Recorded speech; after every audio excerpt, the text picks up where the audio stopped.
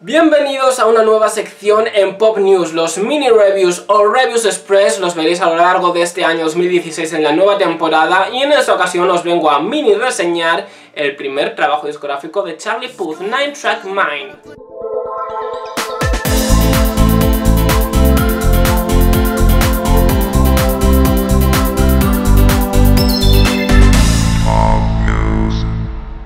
Charlie Puth ha iniciado su carrera discográfica por todo lo alto y es que ya tiene varios éxitos musicales en su lista. Primero fue See You Again junto a Wiz Khalifa, la canción de Fast and Furious.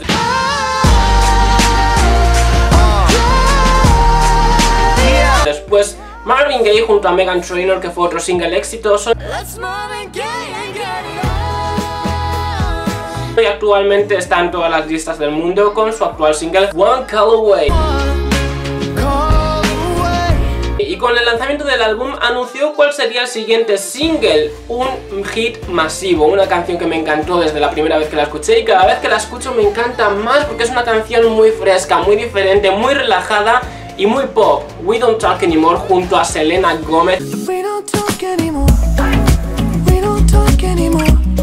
creo que los dos empasan las voces perfectamente, es una canción súper adictiva y un poquito como que va a competir ahí con su compañero Shawn Mendes que también está bastante alto en las listas de éxitos y tiene ahí esa colaboración con Camila Cabello, componente de la Fifth Harmony, I Know What You Did Last Summer y veremos cuál de las dos resaltan más. A mí personalmente tiro más por We Don't Talk Anymore, aunque me encantan las dos, ¿eh? pero yo apuesto más por We Don't Talk Anymore, que además Selena Gómez es una artista de más renombre. Camila Cabello aún le falta un poquito para tener ese nombre en la industria discográfica, aunque probablemente se termine separando de las Fifth Harmony y la tengamos como solista, ¿no? La verdad que Charlie viene con una propuesta que a mí me ha gustado mucho y creo que es un cantante que no podemos perder de vista. Es un cantante eh, que sus singles lo han convertido en uno de los artistas revelación del año junto a su compañero Shawn Mendes.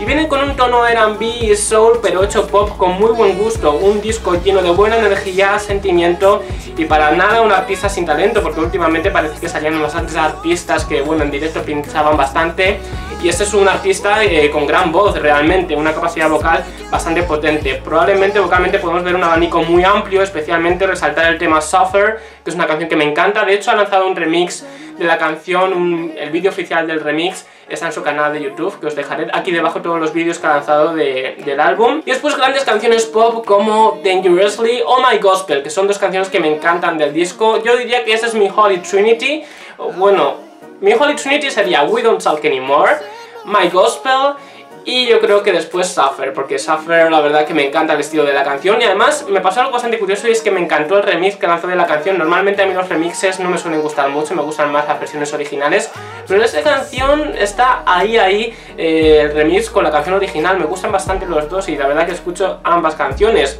Aparte de también tener mid-tempos super radio friendly en el disco, como es la mejorada versión de su exitazo junto a Wiz Khalifa, eh, See You Again. Os recomiendo especialmente los temas que he mencionado en este review express y es un artista que ya digo que trae una propuesta muy diferente y que no debemos perder de vista porque creo que en cualquier momento puede estallar en la escena musical y puede ser un artista con gran renombre en la industria musical. Ya sabéis que para estar informados sobre todas las noticias pop y próximos review express, que haré otro próximamente, tenéis que suscribiros al canal, el canal de las estrellas, si lo habéis hecho. Nos vemos en la próxima transmisión.